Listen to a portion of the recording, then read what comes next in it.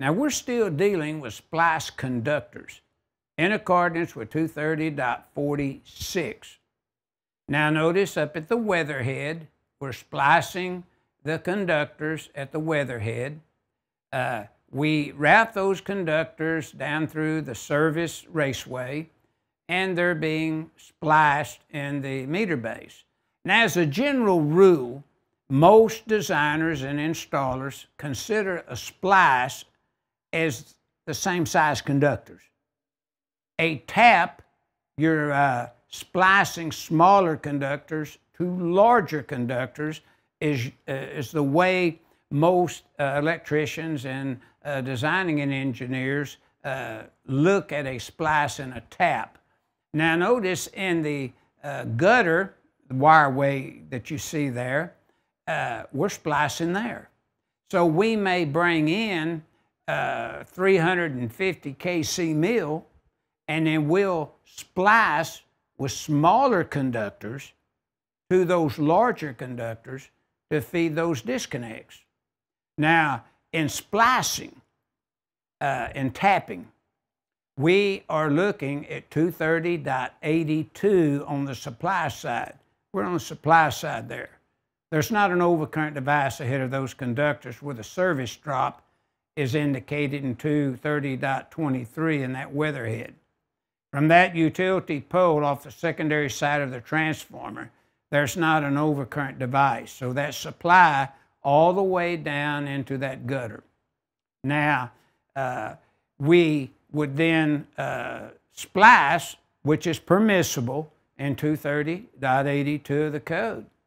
But if we had a large feeder in the disconnect to the right going out, and we spliced with smaller conductors from that feeder, then that would be 240.21b as in boy.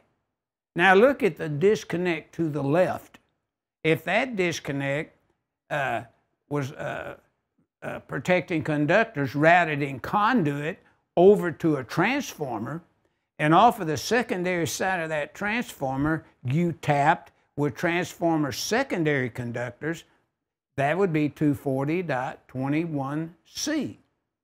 So we pick up those uh, tap rules uh, by those specifications. Now, if you were tapping, uh, uh, say, from the secondary side of a transformer with secondary conductors, and you happen to, to make such a, a tap uh, with a transformer secondary conductors and a supervised industrial location, now you would reference 240.92, C is in car, E is in ed. C, you could tap over 25 foot with transformer secondary conductors up to 100 foot. And then by the application of E uh, in 240.92, you could uh, tap with secondary conductors uh, any length you wanted, long as you had the formulas and, and provided the right protection. So this is where uh, the sections you would look at, 230.82 supply.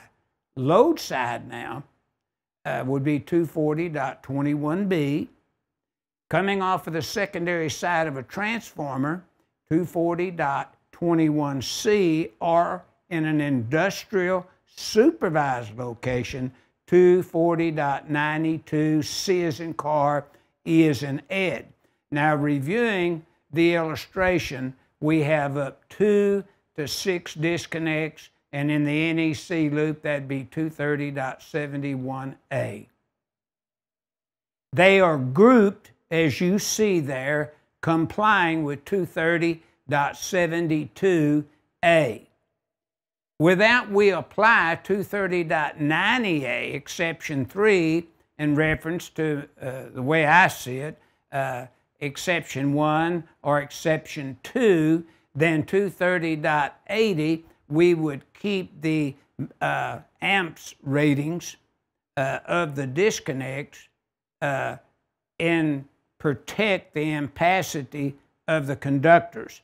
Now, uh, this kind of deals with sections that we would need to review and look at if we're making an installation, as you see in this illustration 6 22, dealing with spliced conductors uh, from the main service conductors to each individual disconnect that you see there, that's 2 to 6.